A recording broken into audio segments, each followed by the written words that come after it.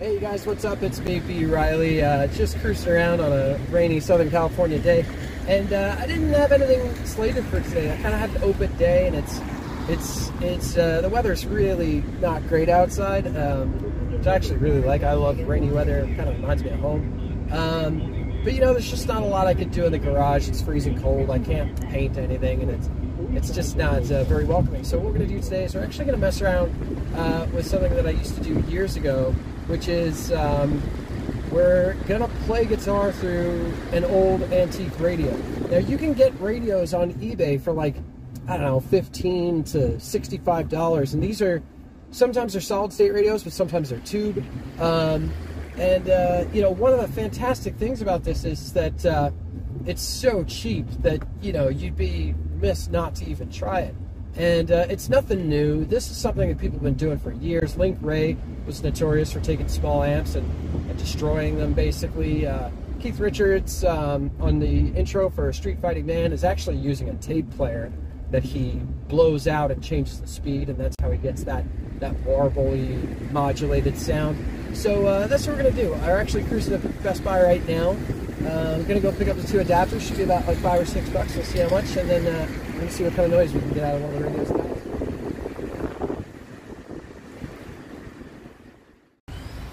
Abandon all hope, ye who enter here.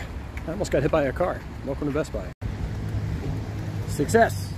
I've picked up the adapter from the Best Buy, and uh, now I'm headed back home. Uh, here's a fun fact for you, for you people who are familiar with San Diego. Uh, currently in Mission Valley. Ooh, spinning. Uh, a lot of people don't realize this, but actually, uh, just up until about 30 or 40 years ago, Mission Valley was the primary area where school kids used to come on field trips. This was all farms, so like 10 minutes ago. All right, so after much driving around and going to Best Buy twice and then also going to the local hardware store, I actually managed to finally pick up the connector. Um, just a bit of advice for you guys.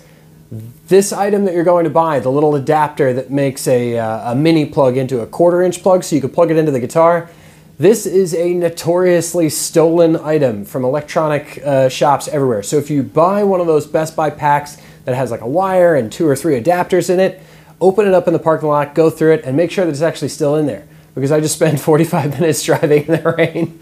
And I realized that when I got back to the house, the actual adapter that I needed was actually gone. Somebody had bought it and then returned it without the adapter, kept the adapter. So just give yourselves uh, a heads up on that one. Anyway, let's see what kind of noise we can get out of this thing.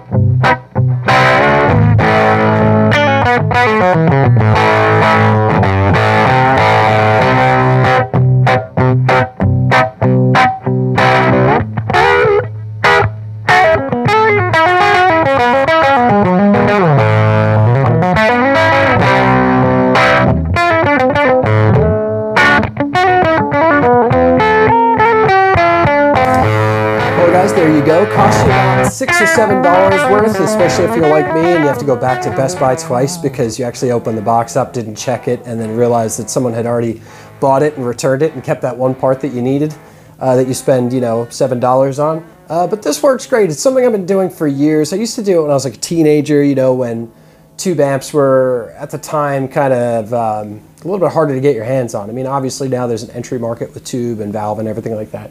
Uh, but this is just kind of a great way to get some weird noises. And like I was saying before, you know, lots of artists have done this. Keith Richards has done this uh, a couple different times. Uh, Link Wray was one for using really small amps that he would deliberately destroy. You know, uh, he was a, a big, you know, proponent of kicking around an amp until it was broken and then trying to use it to record things.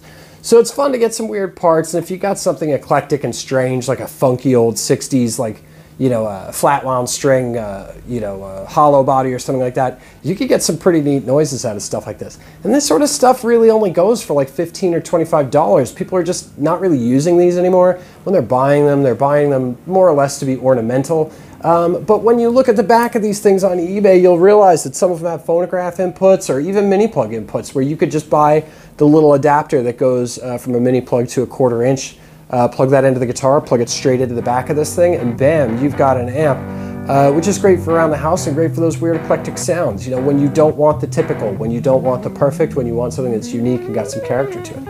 Anyway, you guys have a lovely rainy day. Uh, this is just something I was kind of doing because, uh, you know, it was either this or clean my house, and uh, this is more fun. Anyway, guys, have a beautiful afternoon. Hope you enjoyed. Um, you know, go online and look around. You might score one of these for like 20 bucks, and it's, it's kind of just fun to do. Anyway, I'll see you guys. Thanks for tuning in, and we'll see you next week.